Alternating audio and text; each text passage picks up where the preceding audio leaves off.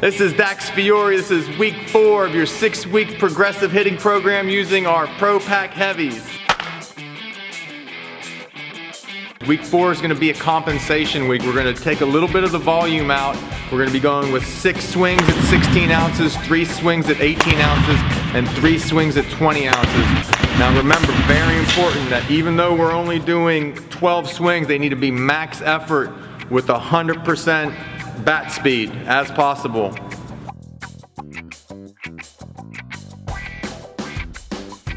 Hey guys, it's Dax Fiore here with PowerNet Baseball.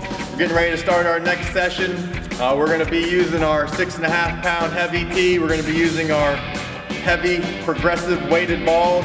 We're gonna be using our 8x8 XLP net. We're gonna be using our uh, PowerNet hitting pad. And of course, we're gonna be using our sweet spot bat.